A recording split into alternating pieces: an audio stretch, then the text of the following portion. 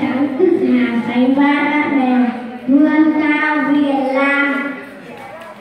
Đó chính là lời tâm sự cũng như lời hứa của các bạn lớp A năm. Cùng chăm ngoan học giỏi để xây dựng Việt Nam ngày càng giàu đẹp, lớn mạnh, tự hào